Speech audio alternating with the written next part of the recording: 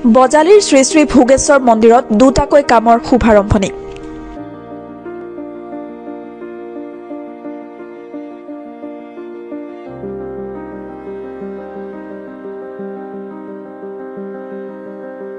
বজালি জিলাৰ প্ৰথম উপায়ুক্ত ভৱানী প্ৰসাদ শৰ্মাই আধাৰশিলা স্থাপন কৰে। লগতে উপস্থিত থাকে বিজেপিৰ বজালি জিলাৰ সভাপতি নগেন চৌধুৰী।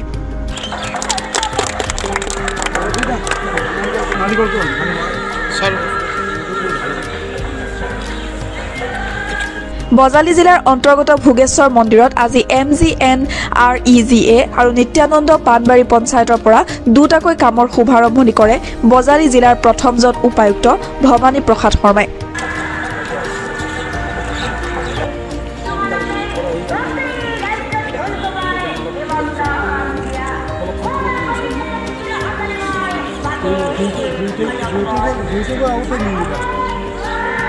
লগতে উপস্থিত থাকে বিজেপিৰ বজালি জিলা সমিতিৰ সভাপতি নগেন চৌধুৰী।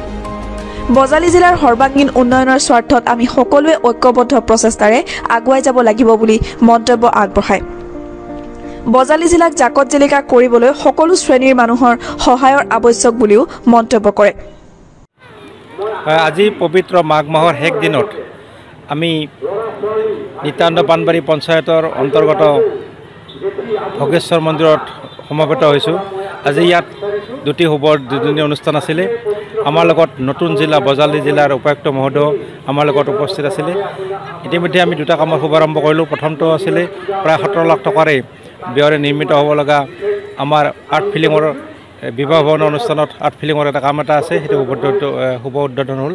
দ্বিতীয়তে নদীৰ কাষতে কালদিয়া নদীৰ পাৰত প্ৰায় ঊনত্ৰিছ লাখ টকাৰ এটা এগ্ৰিবান নিৰ্মাণৰ কামৰ শুভাৰম্ভ কৰিলোঁ। লগত আমাৰ উপস্থিত আছিলে উপায়ুক্ত মহোদয় জিলা উপায়ুক্ত মহোদয় আৰু খণ্ড উন্নয়ন বিষয়া আছিলে। আৰু ইয়াৰ ৰাইজৰ লগত একেলগ হৈ পেলাই আজি পবিত্ৰ দিনত পবিত্ৰ মাঘ মাহৰ শেষ দিনৰ এই কাৰ্যসূচী এই শুভাৰম্ভ অনুষ্ঠানত উপস্থিত থাকিবলৈ আমি সঁচাকৈ গৌৰৱ অনুভৱ কৰিছোঁ। আমি মন্দিৰ বন্দৰত আজিও লোকে লোকাৰণ্য হৈছে। আমাৰ এই ধৰ্মপ্ৰাণ ৰাইজেই ৰাইজৰ বহুদিনীয়া আশা আছিলে যে এগ্ৰিবানটো হ'ব লাগে। কাৰণ বানপানীৰ সময়ত যথেষ্ট আহকলৰ সৃষ্টি হয়। ইয়াত এটা বিবাহ ভৱনৰ ব্যৱস্থা কৰা হ'ল। গতিকে অনাগত দিনত ৰাইজে একেলগ হৈ পেলাই মন্দিৰত সেৱা লৈ পেলাই ন দম্প ন দম্পতি ইয়াত বিবাহ অনুষ্ঠানত অংশগ্ৰহণ কৰিব পাৰিব। আৰু অনাগ আৰু আমাৰ যি বজালি জিলাক আমাৰ যে এটা আশা আছে আমাৰ আশা আছে যে বজালি জিলাক যাক আমি শিক্ষানগৰী বুলি কওঁ নাট্যনগৰী বুলি কোৱা হয়। কিছু যোৱা দহ তাৰিখে মুখ্যমন্ত্ৰী মহোদয় আহি পেলাই ইয়াক নিম্নগৰী হিচাপেও ইয়াক তেখেতে ডিক্লেয়াৰ কৰি গ'ল পাঠশালা ইয়াত দুগ্ধ নগৰী হিচাপে নাম আছে। গতিকে দুগ্ধ প্ৰকল্পৰ এটা শুভাৰম্ভণিও তেখেতে কৰি গৈছে। আশা ৰাখিম যে বজালি জিলাক ছত্ৰিছ সংখ্যক বজালি জিলাক নতুন বজালি জিলাক আমি অসমৰ ভিতৰত সৰ্বশ্ৰেষ্ঠ জিলা হিচাপে আমি গঢ়িব পাৰিম তাকে কামনা কৰিছোঁ। আৰু আমি সাংবাদিক বন্ধুসকলৰ লগতে ৰাইজৰো আমি আশা আমি সহযোগিতা কামনা কৰিছোঁ যাতে ইতি ইতিমধ্যেই আমাৰ নতুন জিলাখনেই গতি ল'বলৈ লাভ কৰিবলৈ আগবাঢ়িছে। আৰু আপোনালোকৰ আশীৰ্বাদত ৰাইজৰ আশীৰ্বাদত আমি জিলাখনক আমি অসমৰ ভিতৰত সৰ্বশ্ৰেষ্ঠ জিলা হিচাপে আমি আমি প্ৰতিস্থাপিত কৰিব পাৰিম অসমৰ মানচিত্ৰত। পবিত্ৰ মাঘ মাহৰ অন্তিম দিন অন্তিম দিনত আমাৰ ভোগেশ্বৰ শ্ৰী শ্ৰী ভোগেশ্বৰ প্ৰভু মহোৎসৱত যি সভাৰশলীত আমাৰ লোকাৰণ্য ভৰ্তি ভৰি পৰিছে ইয়াতে এই শুভক্ষণত আমাৰ বজালি জিলাৰ নতুন উপায়ুক্ত মহোদয় মাননীয় ভৱানী প্ৰসাদ শৰ্মাদেৱ আৰু আমাৰ জিলা বিজেপিৰ সভাপতি নগেন চৌধুৰীদেৱ আমাৰ এছ ডি অ' চাহাব আৰু আমাৰ বি ডি অ' চাহাব তেখেতসকল আহি আজি এই পবিত্ৰ স্থলীত আমাৰ এম জি এনৰেগাৰ ফালৰ পৰা এশ ওঠৰ নং নিত্যানন্দ পাণবাৰী পঞ্চায়তৰ ফালৰ পৰা দুটি স্কীম শুভ উদ্বোধন হৈছে।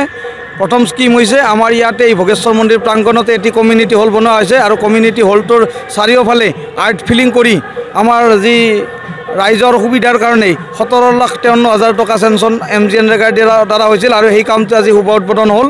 আৰু এই বৃহত্তৰ এৰিয়াত আমাৰ বজালিৰ বৃহত্তৰ এৰিয়াৰ এই কালদীয়া নৈৰ পানীয়ে আমাৰ নিত্যানন্দ পাণবাৰী পঞ্চায়তৰ লগতে বজালিৰ বিভিন্ন প্ৰান্তত বাৰিষা বানপানীৰ সৃষ্টি কৰে আৰু সেই বানপানী ৰোধৰ কাৰণেই আমি এম জি এনৰেগাৰ দ্বাৰা এটি এগ্ৰিবানৰ স্কীম দিছিলোঁ আৰু এই স্কীমটো চেংচন হৈ আজি ঊনত্ৰিছ লাখ তেৱন্ন হাজাৰ টকা আজি কামটো শুভাৰম্ভ আৰম্ভ কৰে আমাৰ উপায়ুক্ত মহোদয়।